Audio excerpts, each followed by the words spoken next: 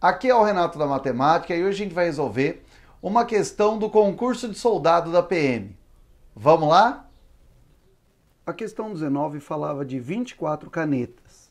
Dessas 24, ele dizia que um sexto das canetas são verdes, três oitavos das canetas são vermelhas e as demais são azuis.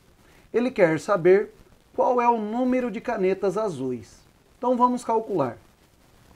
Um sexto das canetas verdes equivaleria a um sexto de 24.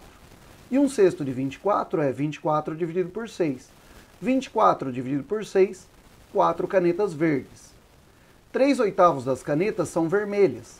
Portanto, 3 oitavos vezes 24. Dá para simplificar. O 24 por 8 dá 3. 3 vezes 3, 9. Portanto, 9 canetas vermelhas. Bom, então até aqui a gente tem 9 mais 4, 13 canetas. E tem 24 no total. Ele fala que as demais são azuis. Ou seja, as canetas azuis seria 24 menos 13, que é igual a 11. Portanto, 11 canetas azuis. E aí, gostou do vídeo? Clique em gostei então, aproveite e inscreva-se. Um grande abraço e até o próximo vídeo.